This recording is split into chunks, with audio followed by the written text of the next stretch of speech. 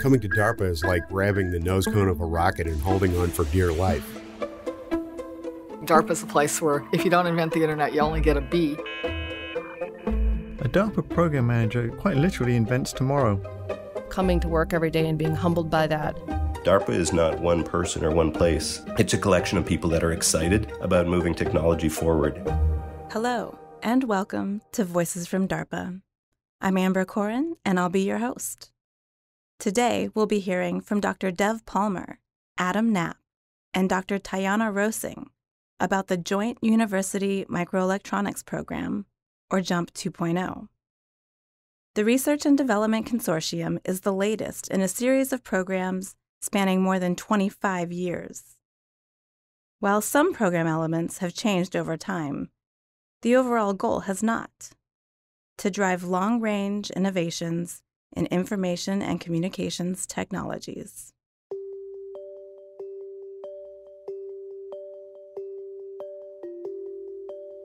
There's an old saying, maybe an African proverb, its exact provenance isn't clear. But it goes something like this If you want to go fast, go alone. If you want to go far, go together. DARPA is in the business of going far, so working together is at the heart of the mission. And in a newly launched program in DARPA's Microsystems Technology Office, the Joint University Microelectronics Program 2.0, or JUMP 2.0, partnerships comprise a veritable ecosystem of cooperative research and development. Specifically, JUMP 2.0 aims to work with industry and academia to advance the high stakes future of next generation microelectronics. Finding sustainable solutions for high bandwidth energy efficiency, seamless communications at a massive scale, intelligent sensing and data management that illuminates a revolutionary future of artificial intelligence and technology writ large. If all goes according to plan, going together will help Jump 2.0 deliver the technologies of tomorrow that will power everything we do, from how we communicate to how we defend our nation, to how we might use autonomous vehicles, to how we clean our homes. Or rather, how the robots clean our homes for us. Maybe. This is actually a very unusual program in that it brings a tight collaboration between multiple centers, multiple PIs across the nation. JUMP 2.0 spans seven research centers, 39 universities, more than 130 faculty members, and at least a dozen commercial and nonprofit organizations. And that's just to start. This is an effort that demonstrates just how seriously the researchers here take collaboration. They're willing to bet everything on it. Many times over, as the 2.0 and Jump 2.0 would indicate, although that's sort of a misnomer. This is not merely the second round. These efforts actually go back decades and several program iterations. They've advanced research, yielded new capabilities, and even saved lives. Dr. Dev Palmer, Deputy Director of DARPA's Microsystems Technology Office, has been involved in some capacity in essentially all of them. He took over leadership of the JUMP program at DARPA in 2020 and today oversees JUMP 2.0. First one was the Focus Center Research Program that started about 25 years ago and it was solidly focused on transistor scaling, which at the time was driven by a common industry document, the International Roadmap for Semiconductors. That program lasted for 15 years because the underlying drive, the underlying motivation for the program did not change over that period of time. But then things did change the microelectronics community shifted against a backdrop of tremendous technological transformation. At the same time, it was the beginning of the end of Moore's Law, a concept from 1965 that predicted, accurately, it turns out, that the number of transistors in a dense integrated circuit, or a microchip, doubles about every two years. Now, for those who may be newer to microelectronics, Transistors are tiny components inside basically all electronics, and they control the flow of electricity. sort of like how a water faucet controls water flow. One type of transistor, the FinFET transistor, is used in basically all commercial products today your laptop, your car, your tablet, your smartwatch, and so on. Would it surprise you to learn that the FinFET transistor came from one of these DARPA programs? It's true. It's also true that, as Moore's Law predicted, transistor features clearly would soon approach the size of a single atom. This, coupled with broader emerging trends, sent DARPA and their longtime co leading program partner, the Semiconductor Research Corporation, back to the drawing board. Here's Dr. Palmer again. The reason that they launched a new program at that point was because of the realization that the motivations behind microelectronics research were changing quickly. So we didn't want to establish a center and just have it run forever. We wanted to take another look at the landscape and the environment and the breakthroughs that have happened in the past five years and start a new program periodically. At that point, we reconvened the DARPA Industry Partnership to determine what the new problems were that we needed to attack, and the JUMP program was the result of that discussion. JUMP 2.0 is not really a follow on program to JUMP other than in name only. The focus changed from the microelectronic scaling and some smaller scale applications of microelectronics to really a new focus at the next level up on the subsystems and modules and maybe even systems that can impact information and communications technology. To say that Jump 2.0's focus is at the next level up is, well, an understatement.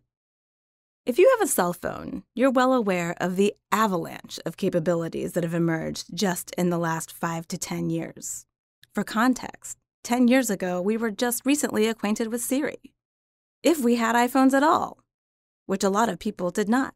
The top smartphone in 2013 was the HTC One. The hope for Jump 2.0 is that the research and development being done under the program will lay the groundwork for innovations of the next decade, or even beyond. This is the common thread over the years and programs leading up to and including Jump 2.0. The adaptive, forward focused nature of this research and development is built on partnership and pioneering. That is a defining element that has never wavered. What Jump and Jump 2.0 and its family of programs do is they dynamically have people who are actually interested, the interested parties, the end customers actually guide and steer that research throughout. So there is a continual interaction between the end customer and the researcher to try to make the two where the two meet halfway typically in terms of what is technically feasible versus what is actually capability relevant. And it's that interaction and having that as a continual part of the actual research process itself that is the real magic of this program.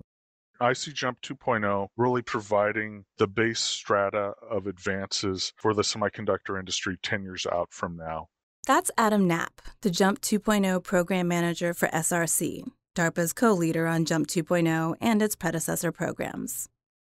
Like his colleagues at the helm of Jump 2.0 activities, Knapp has monumentally lofty goals for the program, but that's not to say they're unrealistic. In actuality, the goals of Jump 2.0 aren't just very realistic, they are very necessary. And even if you don't know much about semiconductors or microelectronics, chances are you have personally felt some of the urgency around advancing microelectronics. And you've definitely heard about it. Here's Dr. Palmer to help jog your memory.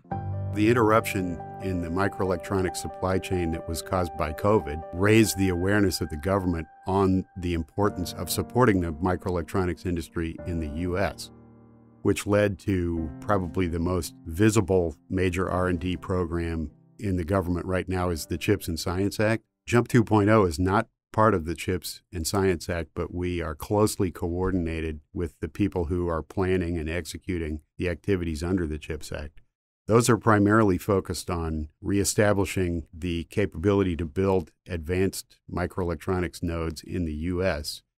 and the ability to staff those facilities once they're built. Those have 100% government funding.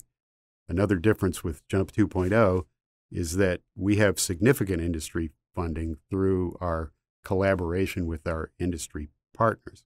We're also focused less on short term results and more on what are the next breakthroughs needed once we reestablish our capabilities in microelectronics. Where do we go from there?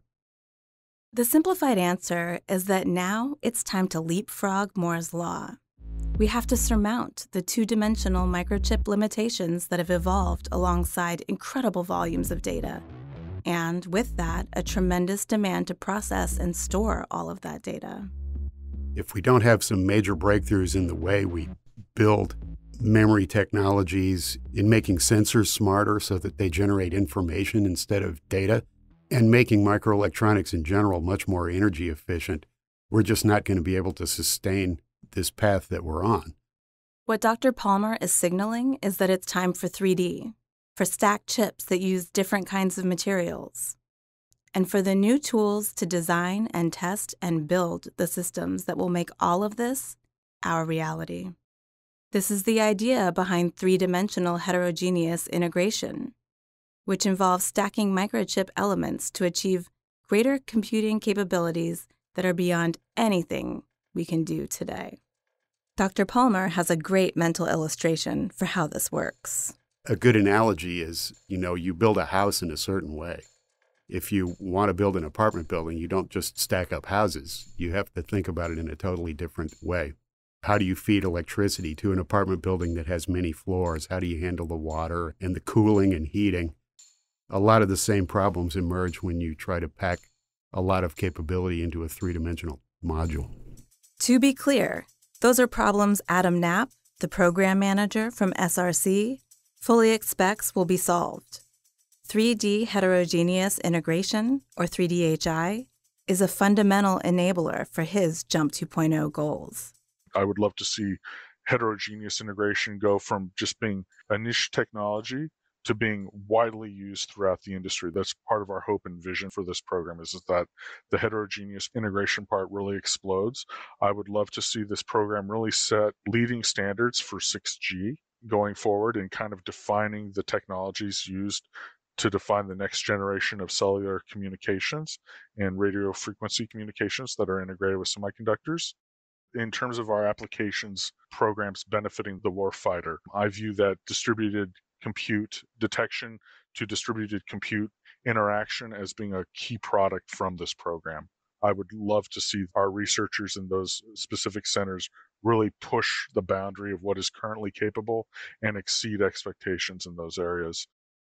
Tajana Simunic Rosing, whose voice you heard at the beginning of the podcast, today oversees the Processing with Intelligent Storage and Memory, or PRISM, Center at the University of California, San Diego.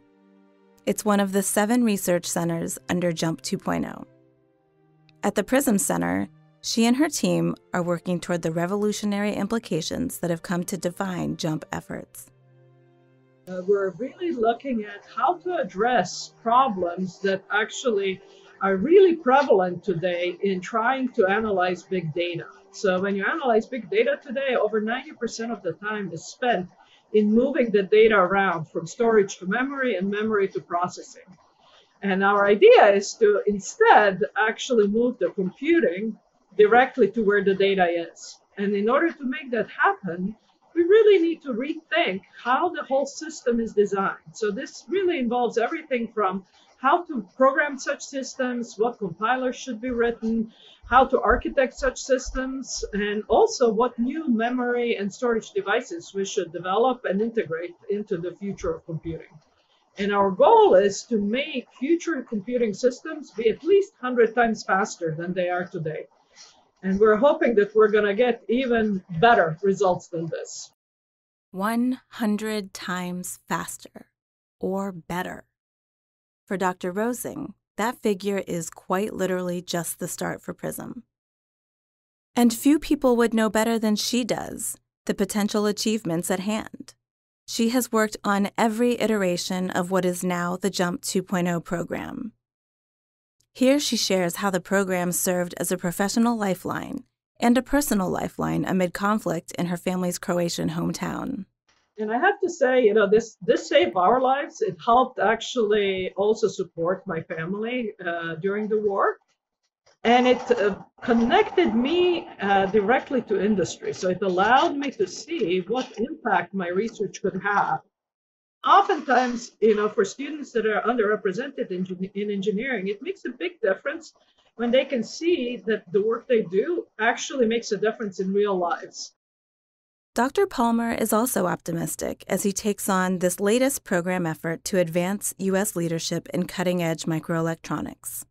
It's a critical strategic advantage that JUMP 2.0's partnerships will help secure. The innovations in next generation information and communication technologies that come out of JUMP 2.0 will strengthen the relationship between defense and commercial industry and make these new capabilities available for DoD systems and platforms of the future.